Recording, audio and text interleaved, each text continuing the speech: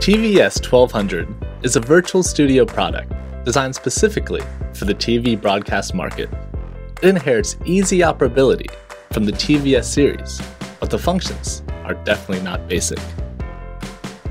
SDI input terminals allow simple dual camera operation, and it supports 1080p, so that the video quality can be greatly enhanced. In addition, it can also be used for high angle shots in the virtual studio, easily realizing the swing arm visual effect. It is especially suitable for news programs and others. Also, to allow the talent to control program progress smoothly, all you need is to use a tablet and send your input to the aux card via AirPlay or Miracast. The talent will then be able to control the entire program at his or her own pace. Of course, if you would like to make a perfect virtual studio program, a good virtual backdrop is definitely required.